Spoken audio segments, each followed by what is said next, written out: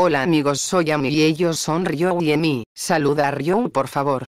¿Qué onda güeyes XD XD XD Y bien, hoy vamos a hacer una rosca de reyes, porque se acerca el día de los reyes magos y estoy orgullosa de que los niños les dejen sus cartas a ellos. Toma 1, acción. Primero le echamos una cucharadita de levadura y luego, la harina con los huevos, solo tienes que romper tres huevos y echarle la yema de tres huevos, y sigue el procedimiento.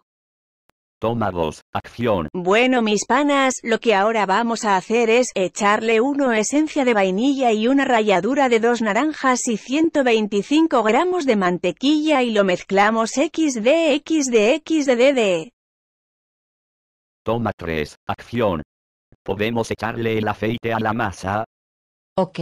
Vamos a echarle el aceite vegetal a la masa, y dejarlo reposar en un lugar calientito, o sea en la ventana donde pegue el sol por una hora.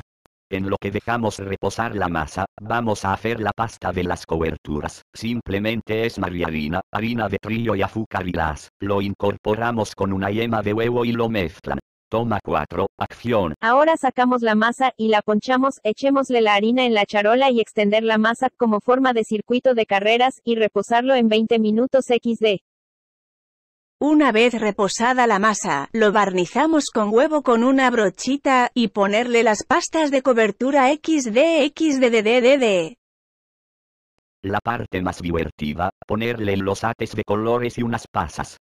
Y no pueden olvidar ponerle azúcar normal a las coberturas y la llevamos al horno precalentado a 325 grados Fahrenheit o 165 centígrados durante 15 minutos. 15 minutos más tarde. Bueno, qué linda se ve esta chulada XD XDD. Si les gustó el tutorial no olviden darle like y suscribirse para la siguiente receta, que son unas hamburguesas a la pizza, suena raro pero, Ahora la rosca de reyes será para nosotros pendeja jajaja. devuélvemela por favor, debemos compartir con otros amigos.